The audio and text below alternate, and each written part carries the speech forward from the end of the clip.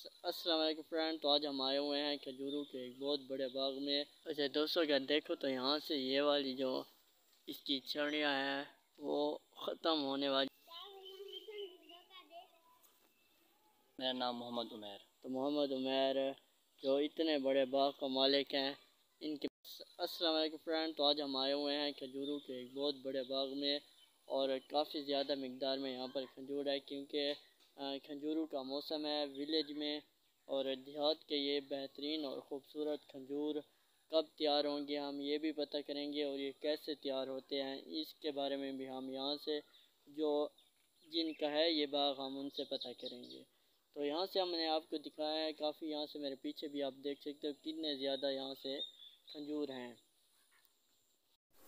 अच्छा दोस्तों, ये वाला दरख्त आप देख सकते हो जो इसका मालिक है, वो इसको, इसका नाम बता रहा है कि शक्री खजूर इनको कहा जाता है और ये काफ़ी मीठे होते हैं। तो ये है शक्री खजूर, क्योंकि पूरे बाग में सब अगर दिखाए जाए तो सारे अभी मुकम्मल नहीं हुए थे, लेकिन ये मुकम्मल हो चुका है। यहाँ से भाई को हमने कहा है कि एक थोड़े हमें गिरा के दिखाए तो ये इतनी मेहनत कर रहा है।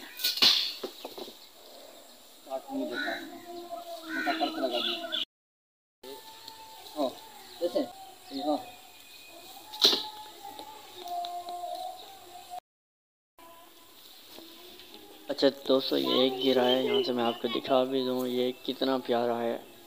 और ये मीठे बहुत ज़्यादा होता है और इन ये कंप्लीट बहुत कम वक्त में होते हैं ऊपर से ऐसे रिज़ल्ट नहीं आ रहा। अच्छा दोस्तों यहाँ से आप देख सकते हैं इसको शक्री खजूर कहते हैं।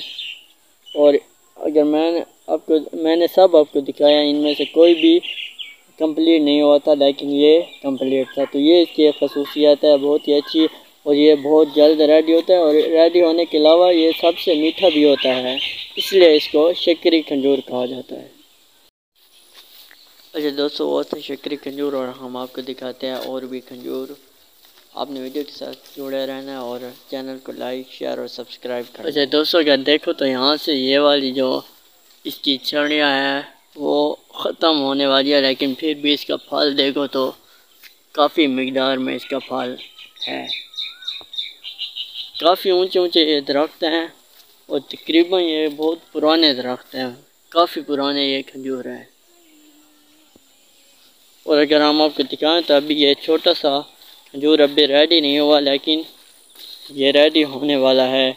इसको इतना टाइम नहीं लगता, फिर भी हम जानेंगे जो इनका मालिक है उससे अगर यहाँ से देखो तो इनका मालिक हम सबसे पहले इसे नाम पता करेंगे आपका नाम क्या है? मेरा नाम मोहम्मद उमेर। तो मोहम्मद उमेर जो इतने बड़े बाग का मालिक हैं इनकी मेहनत को सलाम है और हम सब इनसे पता करेंगे कि ये वाला जो छोटा सा खजूर का दरख्त है ये पूरा मुकम्मल होने में इसको कितना टाइम लग जाता है? इसको कम अज़ कम अगर इसको अपने मैार पर उसकी खुराक मिलती जाए जैसे खाद बीज होते हैं कम से कम ये डेढ़ दो साल में ये मुकम्मल हो जाता है। अच्छा डेढ़ दो साल में कंप्लीट हो जाता है। दो डेढ़ दो साल में ये मुकम्मल हो जाता है उसके बाद ये अपने मैार पर अपना फल उठाना शुरू कर देता है।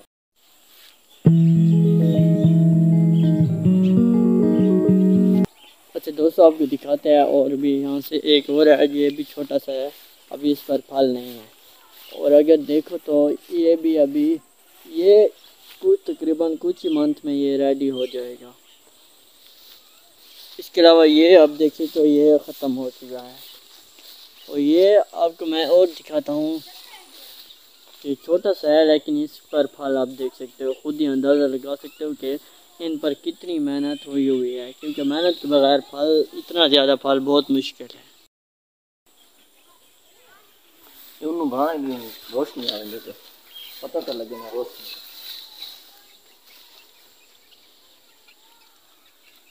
आनी पे रोशनी। दोस्तों, यहाँ से ये आप देख सकते हो, ये तकरीबन एक साल का है और इसका फल देखो। अभी तक ये मुकम्मल नहीं हुए, छोटे हैं, क्योंकि अभी इनका मौसम शुरू हुआ है और इतनी ज़्यादा धूप नहीं होती कि ये मुकम्मल हो सके।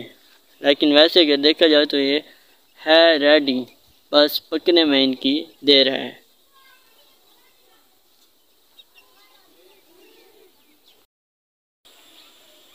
就都是